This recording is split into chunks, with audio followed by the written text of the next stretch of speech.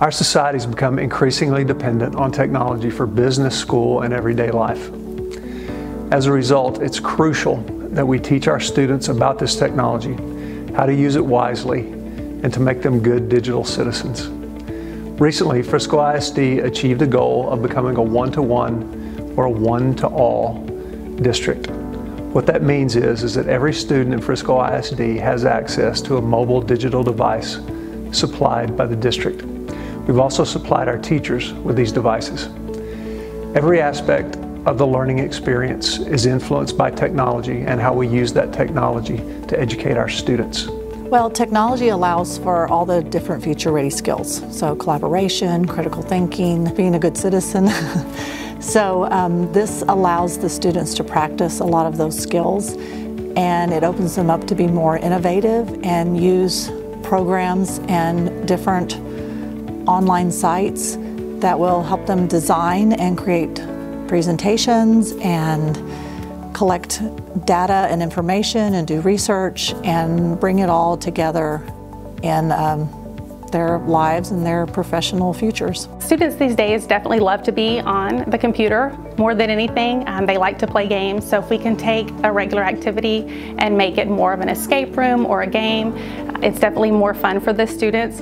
And I find that they're all more engaged because they have their device they're working on, they feel like they can take chances and not necessarily have to worry about everybody seeing whether they're right or wrong. We also can provide a lot of choices for the students and overall that just provides a more positive environment. Our teachers have the opportunity to um, plan their lessons using different innovative technology, which is nice. Uh, they used to have to check out carts, which means the teachers had to plan ahead and had to check the calendar to make sure the carts were available at the time.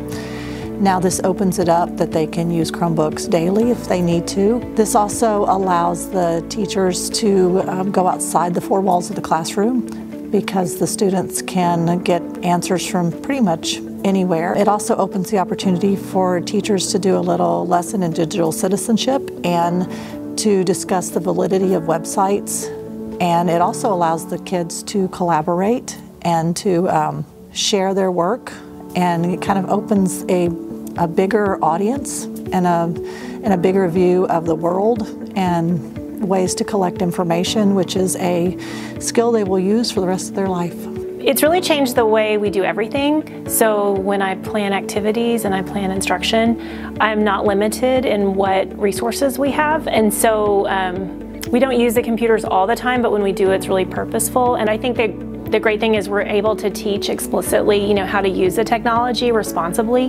Um, and I've noticed that they enjoy times that they're not using it. So they love it when we have it, but they also enjoy times when they can be more tactile and um, use hands-on things instead of staring at a screen. Our approach to lesson planning has definitely changed as well. A couple of the things that have been really beneficial is we can get instant feedback from students.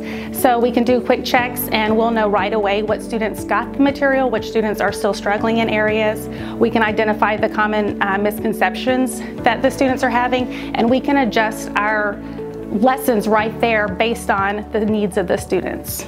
I'm really grateful that our students have this opportunity. It's an extra layer for their education that was missing before and it's a barrier we no longer have to worry about.